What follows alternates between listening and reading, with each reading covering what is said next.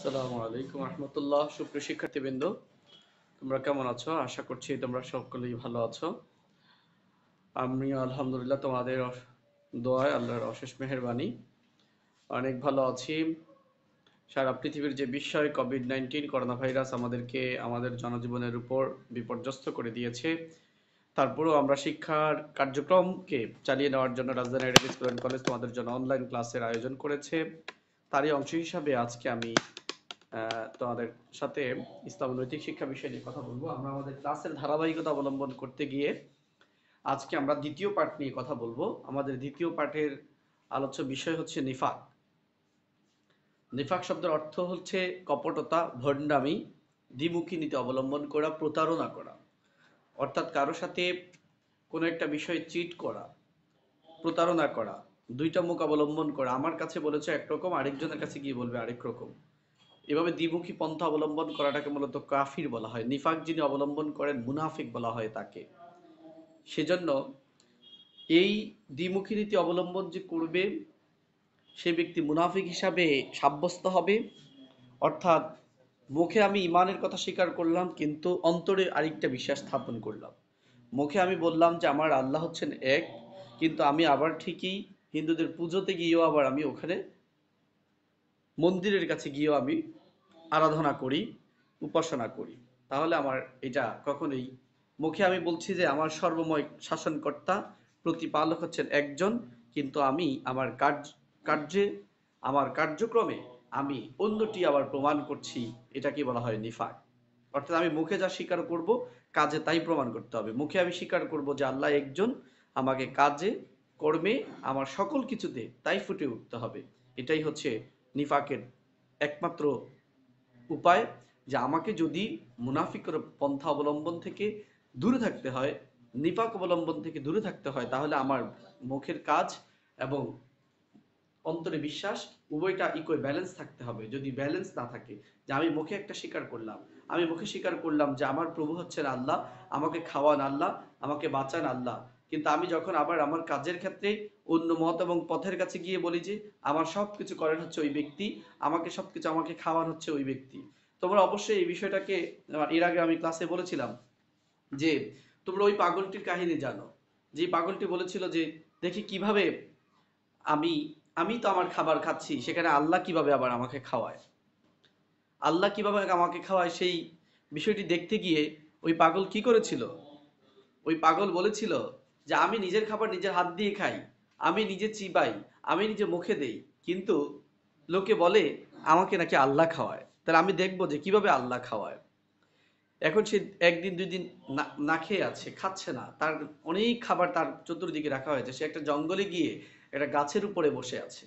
প্রিয় শিক্ষার্থীবৃন্দ, খেয়াল করবে, ও গাছের উপরে বসে আছে। গাছের উপর বসে থেকে তার নিচে খাবার দেওয়া হয়েছে। সে খাচ্ছে না। অনেক আইটেমের খাবার সেখানে দেওয়া হয়েছিল। সে সেই খাবারগুলো না খেয়ে বরং গাছের উপরেই বসে আছে। বলতেছে, আমি খাব না। দেখি আমাকে কীভাবে আল্লাহ খাওয়ায়। তার অন্তরের বিশ্বাসটা দেখো কি? যে কীভাবে আল্লাহ খাওয়ায় আমি দেখব?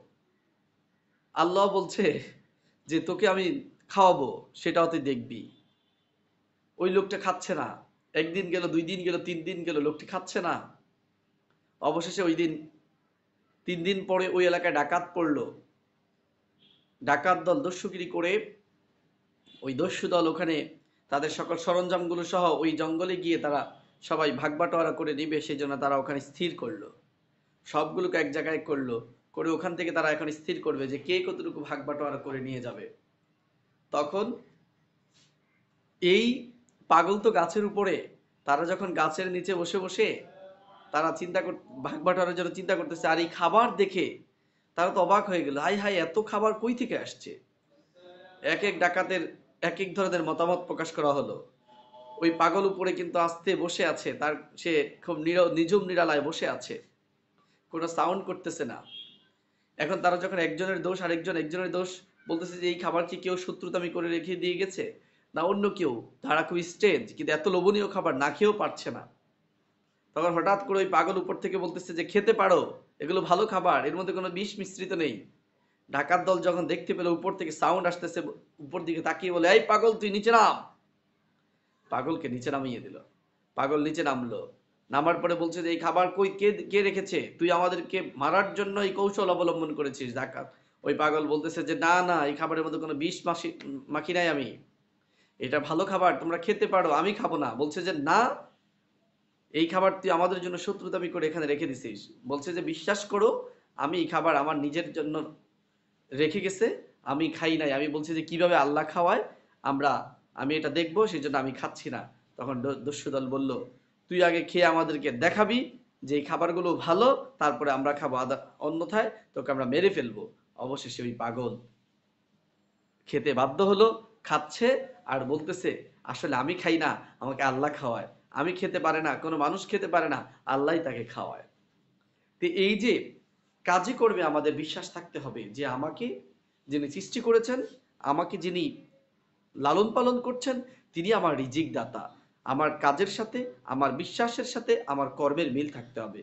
যদি এর বিপরীত ঘটে, তাহলে বুঝতে হবে যে আমার মধ্যে নিফাকের চিহ্ন রয়েছে। সেজন্য আমরা অবশ্যই আমাদের জীবন পরিচালনা করার ক্ষেত্রে কখনোই এই নিফাকি পথ অবলম্বন করব না। কারণ নিফাক যারা অবলম্বন করে তারা মুসল, মূলত মুসলমান আর থাকে না। তার থেকে মুসলমানরা দূরীভূত হয়ে যায়। মুসলমানিত্বটা দূরীভূত হয়ে যায়। সে প্রকাশ্যে নিজেকে মুসলমান দাবি করলেও মূলত তার মধ্যে মুসলমানের যে মূল্যেশ তা কারণ সে তো ইসলামকে গোপন করে আছে। ইসলামকে সে প্রকাশ করতে চায় না। আমাদের সমাজের অসংখ্য মুসলমান আছে এরকম। সে মুসলমান, কিন্তু মুসলমান হিসেবে পরিচয় দিতে চায় না। আমাদের বিশেষ করে উন্নত রাষ্ট্রগুলোতে আমাদের যে- সকল ভাইয়েরা থাকে, অনেক ক্ষেত্রে তারা কি করে নিজেদেরকে মুসলমান হিসেবে পরিচয় দেয় না? বলে যে, আমি তো বিধর্মীর কাছে পরিচয় দিয়ে আমি ক্ষতির শিকারে পড়ে যাব। ইসলামটাকে সে কখনো প্রতিষ্ঠিত করতে চায় না। ইসলামটাকে সে গোপন রাখতে চায়। মত এবং পদগুলোকে প্রতিষ্ঠা করতে গিয়ে ইসলামটাকে তারা বিদরিত করে রাখে। এরাই হচ্ছে মূলত মুনাফেক। এরা নিফাক চরিত্র অবলম্বনকারী। এদের সম্পর্কে আল্লাহ রাব্বুল আলামিন পবিত্র কালামের সূরা আল বাকারায় স্পষ্ট করে বলেছেন, বিসমিল্লাহির রহমানির রহিম। ওয়াইদা লাকুল্লাযীনা আমানু ক্বালু আমান্না ওয়াইদা খালাউ ইলা ক্বালু ইন্না ইন্নামা নাহনু মুস্তাহজিউন। লাকুল্লাযীনা আমানু, যখন তারা ইমানদারদের সাথে মিলিত হয়, যখন তারা ভালো বন্ধুদের সাথে মিলিত হয়, তখন বলে তো, দোস্ত, আমি তো তোমাদের কাছেই আছি। তোমার দলেই আছি, তোমার পার্টিতেই আছি। আবার যখন শয়তানদের সাথে মিশ্রিত হয়, খারাপদের সাথে কাছে চলে যায়, যখন অন্যদের কাছে চলে যায়, বিধর্মীদের কাছে চলে যায়, তখন বলে, আমি তো তোমাদেরই সাথে আছি। অর্থাৎ প্রত্যেকের সাথেই সে আছে, এরা হচ্ছে উপহাস করে। এরা ইসলামটাকে উপহাস করে, নিজেদেরকে উপহাস স্বরূপ উপস্থাপন করে। কারণ তারা শয়তানদের সাথে মিলিত হলে বলে যে, আমি তোমাদের পার্টির লোক। যখন আমার ভালোদের সাথে, ইমানদারদের সাথে মিলিত হয়, তখন বলে যে, আমি তো মুমিন, মুসলমান, এই পথ অবলম্বনকারী অতএ আমি তোমাদেরই সাথে এদের ব্যাপারে আল্লাহ রাবুল আলমিন কঠোর ভাষায় বলে দিয়েছেন যে এরা এই হাসি ঠাট্টা তামসাটা মূলত তাদের সাথেই, তাদের নিজেদের আত্মার সাথেই করছে। কারণ সে আজকে যে কাফিরদের সাথে মিলিত হয়ে যখন বলে যে, আমি মুসলমানদের সাথে হাসি ঠাট্টা করছি, আর তোমাদেরই দলে আমি সদস্য তাহলে বোঝা গেল, আবার মুসলমানদের কাছে যখন আসে, তখন বলে, আরে, আমি তো ওখানে এমনিতেই গেছি। আমি তো তোমাদেরই দলে আছি। এরকম কিন্তু সমাজের মধ্যে অসংখ্য মানুষ আছে যারা এই কপটতা, এই দ্বিমুখী নীতি অবলম্বন করে চলে। যখন ভালোর কাছে আসে, তখন বলে যে, যখন মুসলমানদের কাছে আসে, তখন বলে যে, যখন ভালোদের কাছে, অর্থাৎ সঙ্গবদ্ধ ভালো মানুষের মুমিনদের দলে আসে, তখন বলে যে, আমি মুমিন। আবার যখন তারা শয়তানদের দলে, অর্থাৎ খারাপদের দলে থাকে তখন বলে, আমি তো খারাপের পথেই আছি। এইভাবে দ্বিমুখী নীতি অবলম্বন করে সমাজের একটি শ্রেণি চলে। তারা মূলত ভালো মানুষ, লেবাসদারি হলে হওয়া সত্ত্বেও তারা ভালো মানুষ নয়। তারা কপটতার পদ অবলম্বনকারী, তারা মুনাফিক, তারা নিপাকের পদ অবলম্বনকারী। এদের মুখে কুপুর রেখে মূলত তারা মুখে মুখে ইসলাম বলে, কিন্তু অন্তরের মধ্যে কুপুরি স্বীকার করে। অন্তরের মধ্যে কুপুরিকে লালন করে, আর এই কুপুরি যারা লালন করে তারা কাফির হিসাবে গণ্য হবে।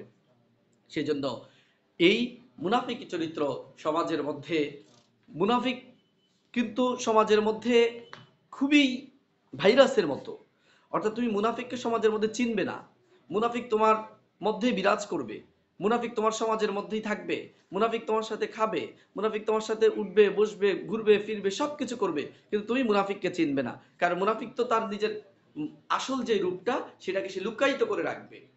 এই মুনাফিক খুব ভয়ঙ্কর ইসলামকে সবচেয়ে বেশি ক্ষতি করেছিল এই মুনাফিকরা। মুনাফিক সর্দার ছিল আব্দুল্লাহ ইবনু উবাই। সে আব্দুল্লাহ ইবনু উবাই আল্লাহ রসুল ইসলামের সময় আল্লাহ রসুলকে জায়নামাজ বিছিয়ে দেওয়া দিত। আল্লাহ রসুল যে জায়নামাজে পড়ে নামাজ পড়তেন, সেই জায়নামাজ বিছিয়ে দিত এই মুনাফিক সর্দার আবদুল্লাহ ইবনু উবাই। অথচ রসুল যখন নামাজ পড়তেন, সে আগে আগে গিয়ে জায়নামাজ বিছিয়ে দিত। রসুলের কানে কানে এসে কথা বলতো। অথচ সে ছিল মুনাফিক সর্দার আবদুল্লাহ বিন উবাই। চিন্তা করা যায় আজকে হাজার বছর পরে আমরা আল্লাহ রসুলের নাম শোনা মাত্রই আমাদের অন্তর বিগলিত হয়ে যায়, আমাদের অন্তর কেঁপে উঠে। আর সেই সময় আল্লাহ রসুলের কানে কানে গিয়ে কথা বলা সত্ত্বেও আবদুল্লাহ বিন উবাই আজকের ইতিহাসের আস্থা করে পরিণত হয়েছিল।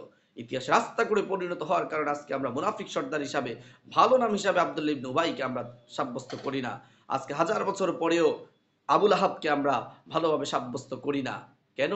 কারণ এগুলো ইতিহাসের সাক্ষী।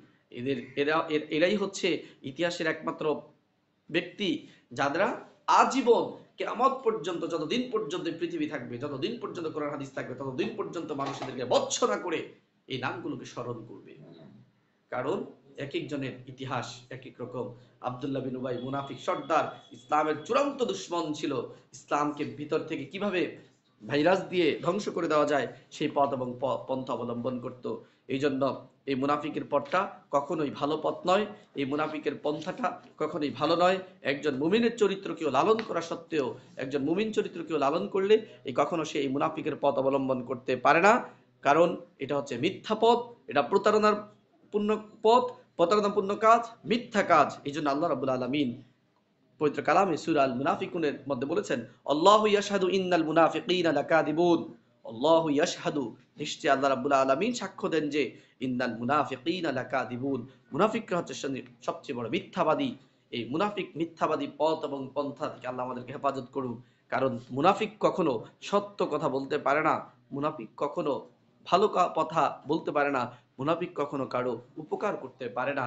এই মুনাফিকের পথ এবং পন্থা থেকে আল্লাহ আমাদেরকে হেফাজত করুক এছাড়া আমরা মুনাফিকদের সমাজ থেকে খুব সহজে চেনার জন্য আল্লাহ রসুলের সে হাদিসটা আমাদের প্রত্যেকেরই জানা। আমরা প্রত্যেকটা ক্লাসে এটা পড়েছি যে আয়াতুল মুনাফিকি সালাসা। আয়াতুল মুনাফিকি সালাসা। মুনাফিকদের আলামত হচ্ছে, মুনাফিকের চিহ্ন হচ্ছে তিনটা। কোন ব্যক্তি যে মুনাফিক, সেটা তুমি কীভাবে বুঝতে পারবে? সমাজের মধ্যে তোমার, আমার মতো চর্মচক্ষু আছে, হাত আছে, পাও আছে, এমন মানুষই কে মুনাফিক তুমি কীভাবে আইডেন্টিফাই করবে? সেজন্য আল্লাহ রসুল সাল্লাহ সাল্লাম তিনটি স্তর বেঁধে দিয়েছেন। যার মধ্যে তিনটা স্তর, তিনটা ছিন্দ পাওয়া যাবে। আয়াতুল মুনাফিকে সালাসা ইজা হাদ্দাসা কাদিবা ওয়াইদা ওয়াদ আখলাফা ওয়াইদা উতুমিনা খন এই তিনটি আলামত যার মধ্যে পাওয়া যাবে। ইজা হাদ্দাসা কাদিবা যখন সে সৎ কথা বলে, তখন সে মিথ্যা বলে। ওয়াইদা ওয়াদ আখলাফা, আর যখন সে ওয়াদা করে, তখন সে তা ভঙ্গ করে। ওয়াইদা উতুমিনা খন আর যখন তার কাছে কোনো কিছুকে আমানত রাখা হয়, সে তা খেয়ানাত করে। এই তিনটি আলামত যদি কারও মধ্যে প্রমাণিত হয়, এই তিনটি আলামত যদি কারও মধ্যে বিদ্যমান থাকে, সে মূলত আর মুসলমান থাকে না, সে তখন মুনাফিক হয়ে যায়, তার আলামতগুলো মুনাফিক হিসাবে গণ্য হবে, সমাজের মধ্যে সে মুনাফিক হিসাবে গণ্য হবে, এই মুনাফিকের এই কাজটি অত্যন্ত জঘন্যপূর্ণ পাপ, এটি কখনো মুমিনের চরিত্র হতে পারে না, এটা মানুষের চরিত্রকে, মুমিনের চরিত্রকে ধ্বংস করে দিবে, সেজন্য আমরা অবশ্যই আমাদের প্রত্যেকটি ক্ষেত্রে এই বিষয়গুলোকে খেয়াল রাখব, যাতে আমাদের কথায় কাজে এবং কর্মের সাথে সবকিছু ব্যালেন্স থাকে, আমরা কারোর সাথে যদি ওয়াদা করি, তাহলে অবশ্যই আমরা আমাদের ওয়াদাগুলোকে পরিপূর্ণরূপে করার চেষ্টা করব। আমরা কেউ আমাদের কাছে কোনো কিছুকে আমানত রেখে দিলে সে আমানতটা অনেকভাবে হতে পারে। আমরা দুনিয়ার জীবনে যে এসেছি, আল্লাহ রাবুল আলমীদের পক্ষ থেকে এই হায়াত হচ্ছে আমাদের, এই এই রিজিক হচ্ছে আল্লাহর পক্ষ থেকে আমানত। আমার এই জীবনটা আল্লাহর পক্ষ থেকে আমানত, কারণ আমার এই জীবনের জন্য পরকালীন জীবনে গিয়ে আল্লাহর কাছে জবাবদিহি করতে হবে। সেজন্য প্রিয় শিক্ষার্থীবৃন্দ, আমরা অবশ্যই খেয়াল রাখব যাতে করে আমাদের আচার আচরণে, আমাদের জীবনের পরিচালনায়, আমাদের এই জীবন পরিচালনা করার ক্ষেত্রে আমরা যাতে কখনোই এই মুনাফিকের পথ এবং পন্থাগুলো অবলম্বন না করি, সে ব্যাপারে আমাদেরকে সদা জাগ- জাগ্রত ভূমিকা পালন করতে হবে। কারণ এই মুনাফিকদের ভয়াবহ শাস্তির ব্যাপারে কোরআন অসংখ্য জায়গায় অসংখ্য জায়গায় আল্লাহ রাব্বুল আলামিন এই মুনাফিকদের ব্যাপারে, মুনাফিকদের অবস্থান যে জাহান্নামী, এক জায়গায় আল্লাহ রাব্বুল আলামিন বলেছে ইন্নাল মুনাফিকিনা মুনাফিকরা হচ্ছে জাহান্নামের সর্বনিম্ন স্তরে, স্তরের মধ্যেও তো স্তর আছে, তার মধ্যে সর্বনিম্ন স্তরে মুনাফিকরা অবস্থান করবে। সেজন্য আল্লাহ আমাদের চরিত্রটাকে মুনাফিকি আচরণ পূর্ণ, মুনাফিকি আচরণ হীন আচরণ থেকে আমাদেরকে হেফাজত করুক, মুনাফিকি আচরণ থেকে আমাদেরকে হেফাজত করে আমাদের ব্যক্তি জীবনটাকে ইমানিয়াতপূর্ণ জীবন গঠন করার সুযোগ করে দিক। আমরা সেজন্য অবশ্যই এই মুনাফিকি চরিত্র থেকে নিজেদেরকে হেফাজত করে ইমানিয়াতপূর্ণ চরিত্রে নিজেদেরকে পরিচালিত করব ইনশাআল্লাহ। এই জন্য আজকের এই আলোচনা থেকে আমরা মূলত মুনাফিকদের চরিত্র সম্পর্কে জানলাম, মুনাফিকদের অবস্থান সম্পর্কে জানলাম, সমাজের মধ্যে যারা মুনাফিকের পথ এবং পন্থ অবলম্বন করে, আল্লাহ তাদেরকে হেফাজত করুক, আল্লাহ তাদেরকে হেদায়েত করুক আমাদেরকে আমাদের জীবন পরিচালনা করার ক্ষেত্রে আল্লাহ যেন এই মুনাফিকের চরিত্র থেকে নিজেদেরকে হেফাজত করে, সেই উদার্ত আহ্বান রেখে আজকের ক্লাস এখানে শেষ করছি। আল্লাহ হাফিজ। আসসালামু আলাইকুম ও রহমতুল্লাহি ওবরাকাত প্রত্যেকেই ভালো থেকো, সুস্থ থেকো, ঘরে থেকো। আর বেশি বেশি করে আল্লাহর কাছে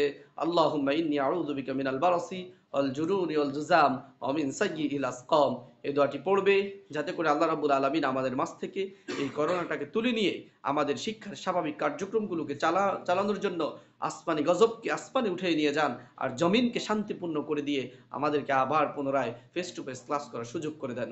ওয়াকির দাওয়ান আলহামদুলিল্লাহি রাব্বিল আলামিন। আসসালামু আলাইকুম রাহমাতুল্লাহ।